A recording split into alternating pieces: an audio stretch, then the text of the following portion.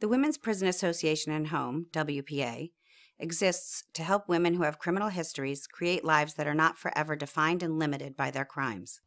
Most women get to jail with pasts that include victimization and drug abuse, less than a high school education, and no work experience. Incarceration is effective punishment, but it is not enough to make them avoid crime when they come home. WPA helps women to take responsibility for their past actions and find the courage and perseverance to navigate through new doorways to opportunity. WPA was founded in 1845 by a group of Quaker women, led by Abigail Hopper Gibbons, one of New York City's prominent abolitionists.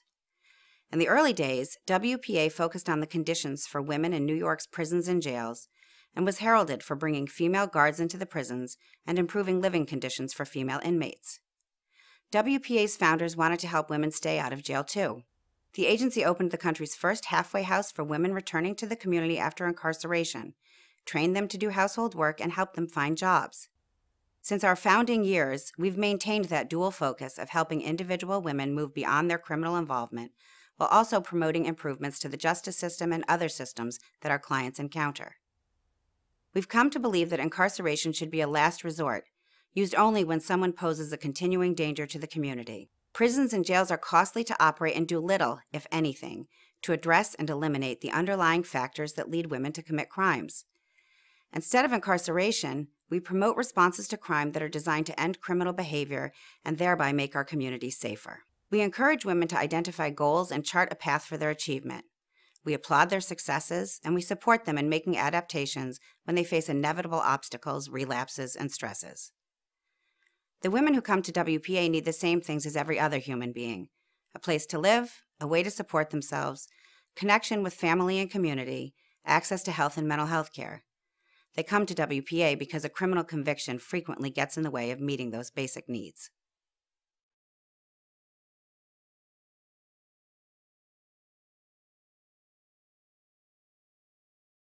Our criminal justice system is designed to punish.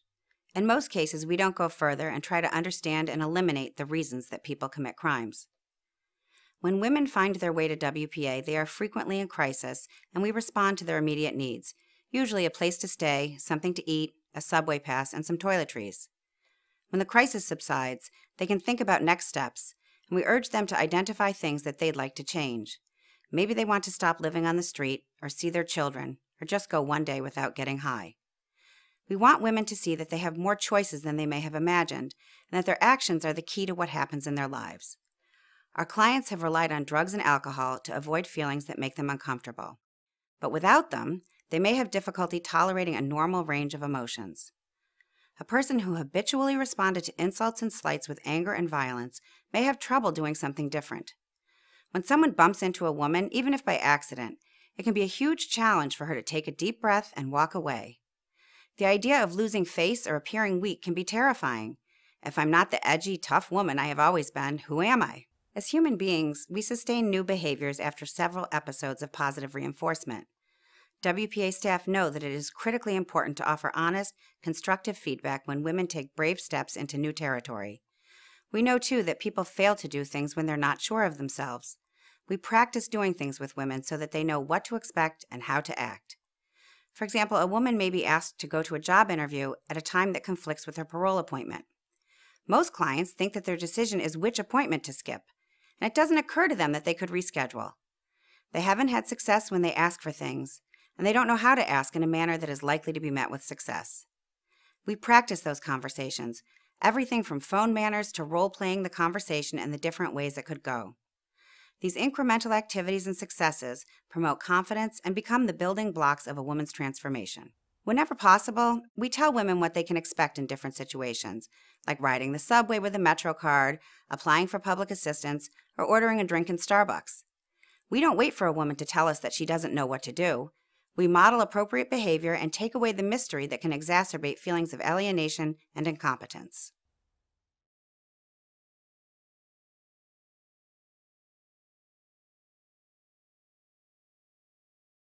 WPA is successful because we believe that every day is a new opportunity to evolve, and our acceptance of every woman's story fuels hope and possibility.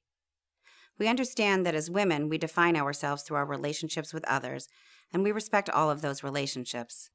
More than 75% of incarcerated women have children, and being a mother can give rise to need, guilt, and hurt, and can also be a motivating force. We work with families whose children are at risk of entering the foster care system. Mostly, the authorities are involved because mom is using illegal drugs or abusing alcohol, and the kids seem to be neglected. When we go to family homes, we see that women are doing the best they know how. The parenting they received was inconsistent, and they never learned about child development, housekeeping, constructive discipline, or how to encourage literacy. Like many mothers, they are stressed by the demands of children, intimate partners, and other family members, but they don't know how to find support and resources that would ease the burden. Nearly all the families we see become better able to manage their lives and relationships. This work is rewarding for us, and it is also good for individuals, families, and communities. When children are prepared for kindergarten, they are more likely to graduate from high school, and kids who graduate from high school are more likely to become financially stable and are less likely to be involved in the criminal justice system than kids who drop out. WPA is also successful because we view the whole person, her strengths and her needs. We find it crippling to look at women solely through the lens of their crimes and the problems they seek to solve. We see change occur when women see themselves as capable and strong. Looking only at the flaws, we could not lay a foundation upon which to build. We want to help women accept responsibility for their actions and guide them through the process of repairing the harm they've caused so that they can move forward and create better stories for their future.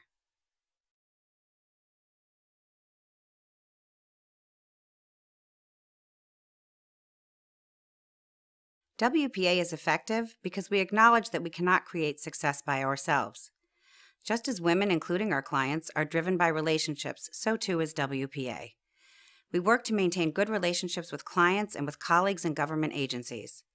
Through these relationships, we activate resources for our clients and assure that we will be heard when we need to advance change and have influence over policy and practice. Our programs are effective because we appreciate the totality and complexity of a woman's life. We are willing to help her deal with many different concerns and goals simultaneously, and we know that there is value in women trying things their own way, even when we can see that the course will fail. Both failures and successes serve as chances to connect what a woman does with the way things turn out. Even the bad results demonstrate that she is in control of the direction of her life. The importance of relationships cannot be overstated. One of our programs matches women who are leaving prison with mentors in the community. A few years ago, an outcomes assessment was conducted on a sample of clients from the mentoring program. The results were remarkable. 93% remained arrest free 18 months after being released from prison. 98% improved the stability of their housing, and 96% enrolled in drug treatment services.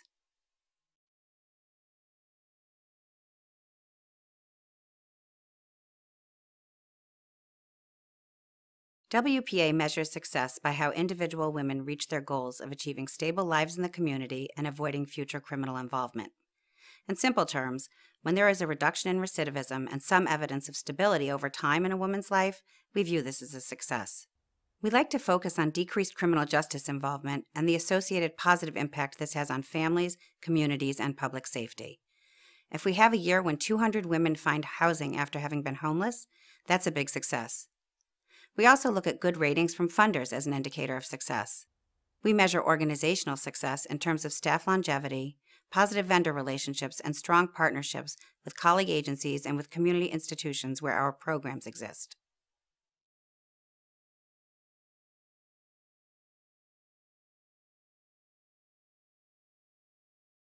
The biggest misconception about the Women's Prison Association is that we are a prison, and that's really the opposite of how we want to be seen. We believe that prison should be the exception. The majority of justice involved women have been convicted of nonviolent crimes that are drug related. Sending a woman to prison may temporarily stop her drug use, but when she gets out, she will need new ways to cope with the feelings and demands that she could avoid in the past by getting high. Prisons were created to make communities safer by removing the people who were considered dangerous, not to make the people in them less dangerous. The prison system was not designed to prepare people to live law abiding lives in the community. That's where we come in. Our focus is to help them abide by the rules while they're in prison and to foster personal accountability and growth so that women can emerge from criminal involvement with real prospects for life as law abiding members of the community. Another misconception about WPA is that we don't care about men. We believe that whatever we learn from doing good work with women will benefit efforts with men. WPA focuses on women in the system in large part because they are otherwise ignored and dealt with as an afterthought. When women go to prison, they lose their housing and their access to financial resources and medical care. And if they have children, their children's lives are turned upside down. Working with a woman who is in the criminal justice system to make changes in her life also means decreasing her dependence on other systems and resources, including foster care, public benefits, court costs, and shelter.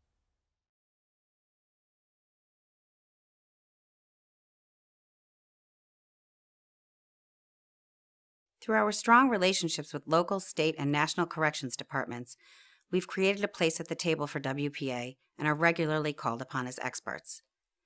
We often encounter people with a negative bias against incarcerated people in general, and female inmates in particular. Nationally, we've been a major force in educating the public about the differences in how men and women arrive in the criminal justice system and why that is important. WPA partners with researchers to help inform their work. We've implemented innovative program models, including Sarah Powers Huntington House, a program where women and children reunite in housing. We've learned from our experience and have applied that knowledge to influence policy and practice at the often complex intersection of the child welfare, criminal justice, and homelessness systems.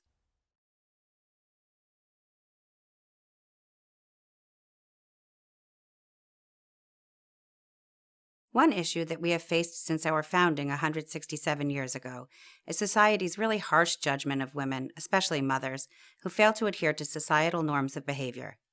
Myriad factors, conscious and unconscious, shape our views of what a mother should be like, and none of our notions of a good mother allow for criminal behavior.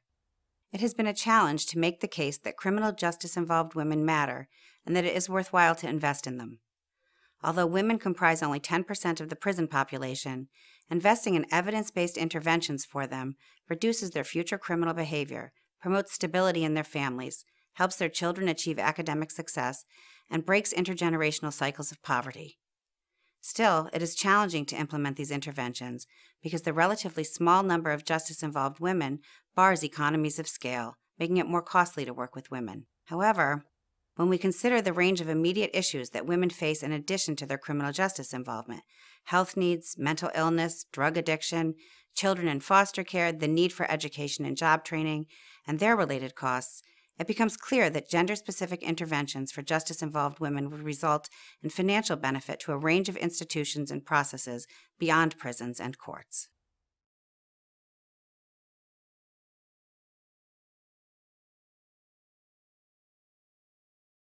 With more funding, we would reopen our residential alternative to incarceration program and make those beds available again. We would like to establish housing for women who are making the transition from prison to the community, and we'd like to create permanent, sober communal housing for women who have histories of criminal justice involvement and chemical dependency. We would also expand our capacity to provide assistance to any woman with criminal justice involvement. With additional resources, we would increase our ability to do work with families offer adult basic education classes, and reestablish our job readiness and placement services. We'd also like to offer a gender specific women's drug treatment program.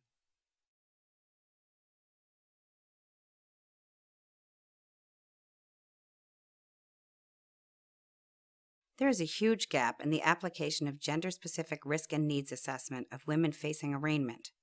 We could and would love to do diversion work that prevents women from having a criminal conviction. This approach would be a step better than alternatives to incarceration that divert women from doing prison time.